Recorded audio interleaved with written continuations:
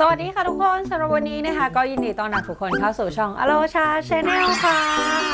ค่ะก็สำหรับวันนี้นะคะทุกคนพลอยจะมาบอกวิธีนะคะในการจ่ายบิลโทรศัพท์มือถือในแอป d t แทกันค่ะเพื่อนๆว่าเพื่อนๆนะคะจะต้องกดอะไรบ้างนะคะแล้วก็ไปที่ไหนบ้างค่ะ แต่ว่าก่อนอื่นนะคะสำหรับใครที่เข้ามาแล้วนะแล้วก็ยังไม่ได้กดไลค์กดแชร์กด subscribe นะคะแล้วก็กดกระดิ่งก็อย่าลืมกดทุกอย่างเลยนะคะเพื่อเป็นกำลังใจให้พลอยด้วยค่ะ ส่วนถ้าวันนี้นะคะใครอยากไปจ่ายบิลโทรศัพท์นะคะของ d t แทกันแล้วนะพอเนี่ยมีการทิ้งลิงก์ตัวแอปพลิเคชัน d t แทเอาไว้ให้นะคะ ให้เพื่อนๆเนี่ยกดที่ลิงก์ด้านล่างนะคะ แล้วเดี๋ยวเราเนี่ยไปโผล่สู่หน้าเดียวกันในหน้าการชำระเงิน ค่าโทรศัพท์ของแอป d t แทกันได้เลยค่ะ ไปดูกันได้เลย ก็ให้เรานะคะทำการนะคะดาวน์โหลดแอปพลิเคชันให้เรียบร้อยค่ะ แต่ว่าอันนี้นะคะพลอยก็มีการดาวน์โหลดมาเรียบร้อยแล้วนะคะ ก็ให้เราเนี่ยทำการเปิดแอปพลิเคชันได้เลยค่ะ หลังจากที่เราเปิดแอปพลิเคชันมาแล้วนะคะหน้าตาตัว d t แทเนี่ยจะเป็นแบบนี้เลยค่ะ โดยอันดับแรกนะคะเพื่อนๆให้เราเนี่ยทำการเข้าสู่ระบบค่ะทุกคนก็ให้เราเนี่ยกดเข้าไปได้เลยนะ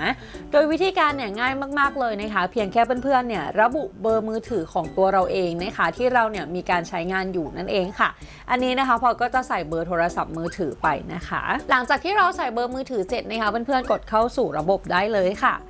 พอเราเข้าสู่ระบบแล้วนะคะเขานะคะจะทำการส่ง OTP นะคะมาในโทรศัพท์มือถือของเราค่ะผ่านตัว SMS นั่นเองนะคะเพื่อนๆ ก็ให้เรานะคะทำการดูรหัสมานะคะแล้วก็ใส่รหัสลงไปให้เรียบร้อยค่ะ หลังจากที่เรานะคะใส่เบอร์มือถือไปเรียบร้อยแล้วนะคะทุกคนเราเนี่ยก็จะสามารถเข้าสู่ระบบนะคะของตัว d t แทได้แล้วนั่นเองค่ะ ทีนี้นะคะเพื่อนๆสังเกตเห็นไหมคะเขาเนี่ยจะมีการบอกมาเลยนะคะถ้างวดไหนเนี่ยเรามีการค้างชำระอยู่นะคะหรือว่ายังไม่ได้ชำระเงินรายเดือนเนี่ยเขาก็จะแจ้งมาค่ะบอกว่าเรานะคะมียอดต้องชำระนะคะยอดเท่านี้นะอย่างของพลอยนะคะก็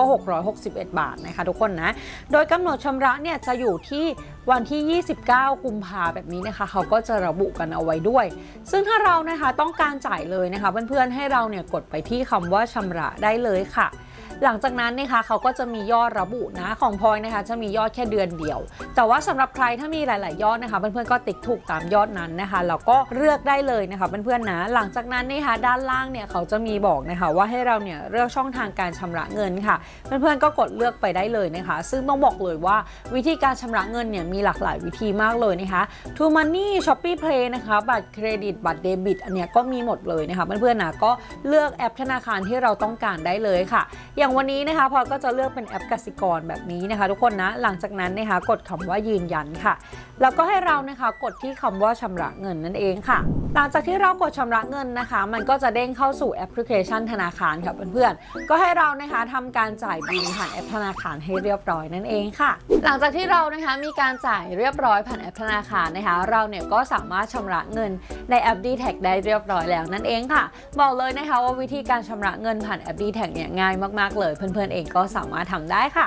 แล้ววันนี้นะคะพลอยก็มาฝากวิธีดีๆ กันเอาไว้เท่านี้ค่ะสำหรับใครที่ชอบคลิปนี้ของพลอยนะคะ ก็อย่าลืมที่จะกดไลค์กดแชร์กด subscribe นะคะแล้วก็กดกระดิ่งติดตามกันไว้ด้วย ส่วนถ้าใครนะคะอยากให้พลอยทำคลิปอะไรเพิ่มเติมอีกคอมเมนต์บอกไว้ที่ด้านล่างได้เลยค่ะ ก็สำหรับวันนี้นะคะพลอยไปแล้วค่ะทุกคนบ๊ายบา